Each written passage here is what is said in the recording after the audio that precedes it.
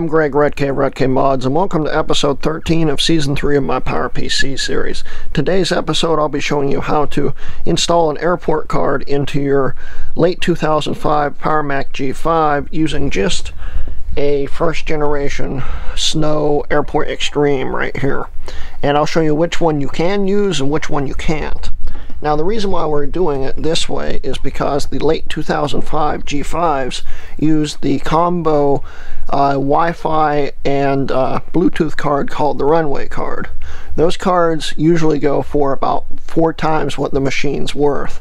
Uh, the cheapest I think I've ever seen one's like 120 bucks. Really expensive. And the funny thing is, the slot inside is actually um, compatible with the old Airport Extreme cards. And you can, if you need Bluetooth, you can always just use a Bluetooth dongle like I used right there.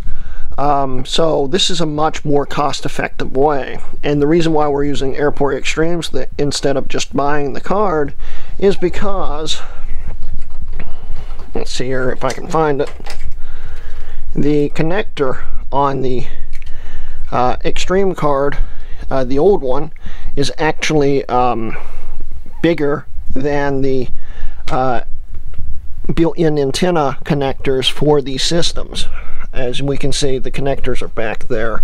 This is the uh, antenna I currently have in it. It doesn't work right, and I'll explain why. Um, but the reason why we're using these extremes is so we can take the antenna out of it and um, just put it straight into this machine like I did with this. I'll pull this one out since I don't need it anymore. This is the wrong antenna for it. Um, and I'll explain why in a second. But back in the day, you could buy one of these things, and it would be cheaper than just buying one of these. And uh, these system, these um, routers here come with that card in it. Okay, so back in the day, you could buy one of these on the used market uh, much, much cheaper than just buying the card. And today, it's usually a little bit cheaper to buy the card than it is one of these. But if you're buying an aftermarket kit, to put one of these cards in uh, on eBay for instance they're like 30 plus dollars and um, you can still get the airport extreme for like 10 bucks um, which is a big difference. Plus, the kit usually involves using something like an iBook antenna and then trying to put it up here somewhere. It's not a very good solution. So it's just better to buy an Airport Extreme to get the card and the antenna. But you have to have the uh, a specific model for this to work. And uh, I found that out the hard way. Uh, the first one I ever did, my uh, G5 here, I got the right extreme um, right out the box. Um, but this one, the quad, I didn't. And I didn't know that there was a difference on these antennas. And uh, I custom modded this antenna so it would work, and it just didn't work. Now, what you need to look for in these extremes here is the back. This is the one you need, the one without the built-in dial-up modem. This is my retro router I use for my uh, retro Macs whenever I need them. Uh, this has the dial-up modem in it, which you can see right there. That's the phone line jack. Plus it has uh, an area for an external antenna. Uh, because the external antenna, these antennas are not compatible and uh, actually require power um, to uh, work and uh, there's uh, I, I, desoldered the uh, antennas on this the wires on this you can see the solder pads. I desoldered the wires on that but um, it needed external power. It uses I think five different lines or something like that. Um, I'll actually maybe take this off and just show you what the antenna looks like. But um, it needs to be plugged directly into the board to get power so you can amplify the external connection. And because of that that antenna is not compatible with what we're doing.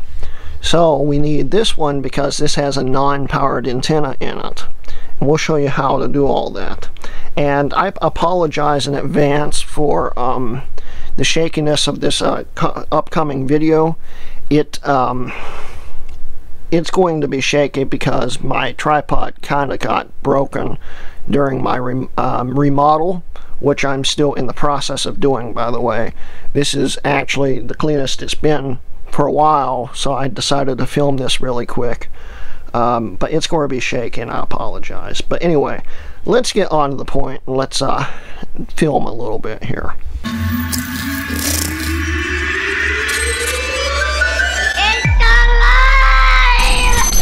So really quick, I'm going to show you what the dial-up modem version looks like. And the antenna, I've already taken out the 3T8 screws on the bottom of it. We'll just pop it off real quick. This is what the dial-up modem one looks like. You can see the power lines and all that stuff. If you see this, you bought the wrong extreme. Plus, of course, it's also obvious because it's got those extra ports on the back. But if you see that, you bought the wrong extreme. You're going to have to buy another one. Um, so that's that. So now I'm going to hook this one back up to my um, internet and uh, actually um, just uh, take this one apart and show you what you need to do. Okay, to start off, I would like to mention that if you are doing this just for the Airport Extreme card, like if you have an extra one of these laying around, or you find a broken one without a power supply or something on eBay for cheaper than one of these cards, you can buy either model and um, get that card. It's the same card, both of them. But if you're doing the uh, late 2005 G5 way for the antenna and stuff, you need the version without the dial-up modem. So after you verify that you have that version, you just need to take out this screw here this screw here and this screw here. They're T8. I'm going to take that off off camera so it's not super shaky and we'll continue from there. Okay, so I took the three screws out. You can turn it over and the top should just pop right off like that. And that's the antenna you want to see. And um, we're going to have to carefully peel up this controller board here. And what I usually do is I like hot glue it to the back of the antenna uh, so it's out of the way um, make sure it doesn't of course ground onto the antenna. But anyway getting back to the point we need to unplug this antenna here like that. And then we need a small Phillips head screwdriver which I have right here I think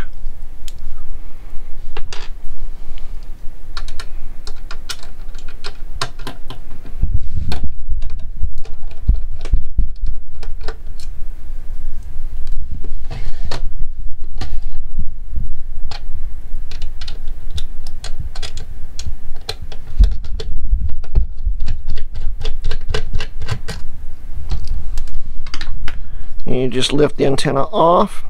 And what you need to do is this is stuck on with double-sided adhesive so you want to go under it really carefully with something to peel it up because you don't want to break this board. This controls the whole antenna's connections and stuff. So I'm going to probably get a razor blade and slice it out of here. And once you do that you can go into the case and pull the airport card out if you're careful enough, you can actually pull this board off by twisting it back and forth very carefully without cracking the board and it may come up, but I'd recommend using the uh, razor method. Now to get the internal case out, if you lift on it, you notice it's not coming out. And that's because there's one more screw, which is hidden under this label. It's right here. It's a Phillips head. And if you feel around for it, there it is right there just twist it out. Like that. And the internal case should pop out like that. Now you need to take out uh, two Phillips here two Phillips there and you can crack the case open. So that's what I'm going to do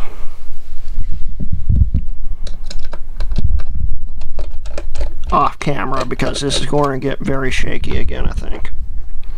Okay, so once you take the screws out, it should just lift the top off of it. I think that's all the screws. Yeah, the top should just lift off like that. And there's your Airport Extreme card.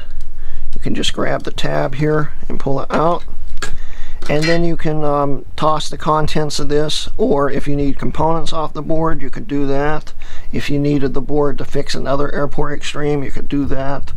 Um, at this point, this is this is just a fancy piece of plastic and some silicone, um, a little metal. But you know, other than that, that's all you need is that and the antenna.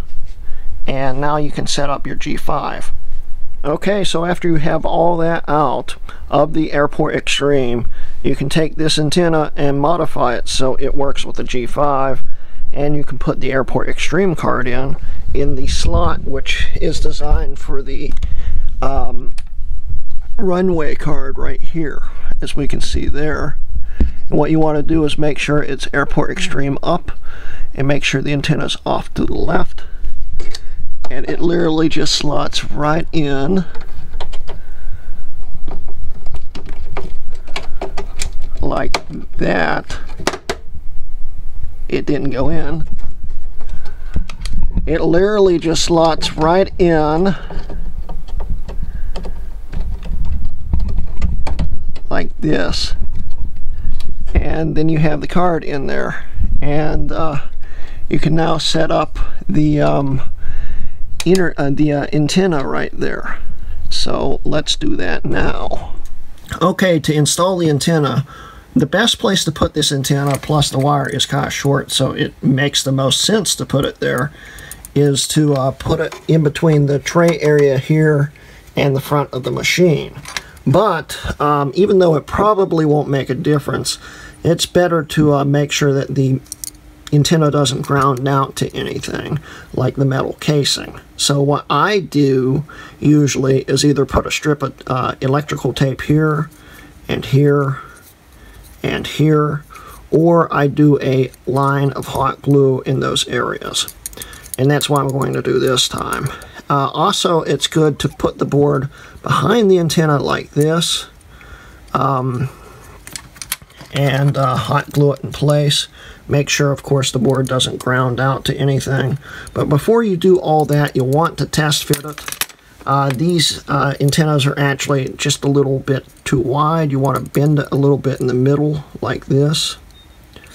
So it's more like that. And then you want to test fit it and make sure it's got a good fit in there. Like so. And bend it back out. And what it's going to do is use basically uh, tension to hold the antenna in. It won't be moving at all. And you won't need any tools to do it and that's what it should look like and uh, I'm going to go build the antenna real quick but then we'll put it in and I'll show you the end result. By the end of it all your antenna should look like this. Okay, this should be um, it being upwards. So it should go in like that. I got the board in, glued in. I got the points where it's going to contact the case um, insulated and it should just go slide in and then I can just connect the antenna and I'll show you what it looks like once it's installed. And there is the finished product on how it should look like in the case. Everything is nice and um, installed there. Sorry I'm holding the light and it keeps getting in the way but I want to make sure it's all well lit. And it plugs straight into the card and you have your antenna installed and it should work. And from the front it's it looks pretty good. Uh, as we can see with that one too. It almost looks like you could have done this from the factory. Um, and it will get good signal. I am doing uh, this card right here for um, Tiger support because my 3, 1 um, Mac Pro uh, Wi-Fi card won't work in PowerPC Tiger. So I uh, I put that put this card in here for backwards compatibility. Uh, it, it works, uh, I think. We're going to find out. We're going to boot it up in the Tiger and see if we get a good signal because with the old antenna, I didn't get any signal without pulling the entire case out of the lineup here. So um, let's uh, try out. Okay, so we have the card installed. It identifies it as an airport card like it should. And if we go over to Wi-Fi, let's see if we can connect. If I can get it to come up, here we go.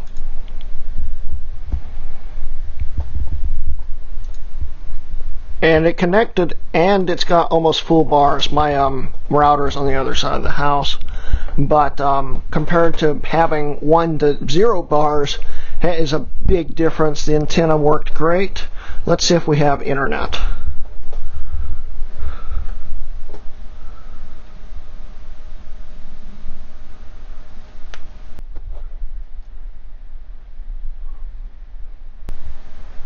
It looks like we do. Um, let's see here. Well, we have internet. Go to Apple real quick. If it doesn't.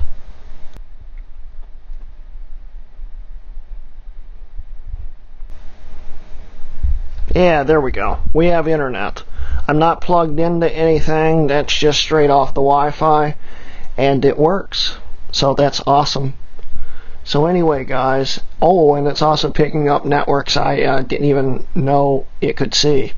That's cool too. But yeah, so anyway, guys, that's the end of today's video. I hope you enjoyed it, showing you how to use a white Snow Airport Extreme router to make a uh, antenna and uh, Wi-Fi card for your uh, late 2005 G5.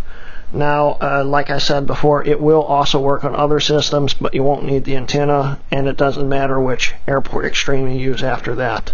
But for the late 2005, this is the best way to get an antenna for it, and um, it will save you at least $110, um, which is a, a, a big plus.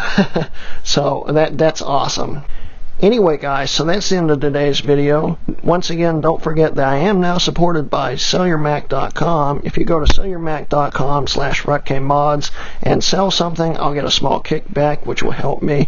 And it will also help you because you'll be making money. Also, uh, don't forget that I do now have a Patreon if you want to help support me. There will be a link in the description and also at the end of the video. And uh, this has been a HrutkayMods video.